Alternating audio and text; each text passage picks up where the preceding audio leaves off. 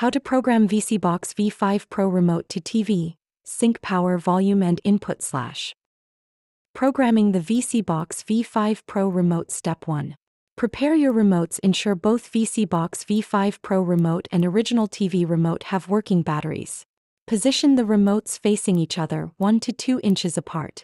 Enter learning mode on vSeeBox remote by pressing and holding the power button until the LED indicator starts flashing. Step 2.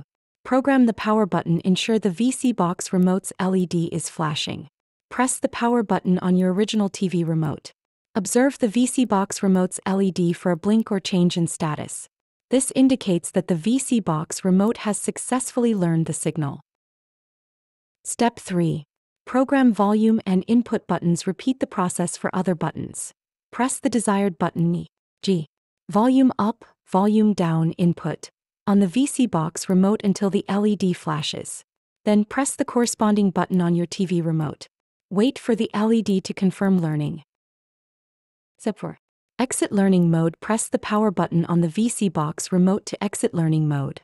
Ensure all desired buttons are programmed before exiting.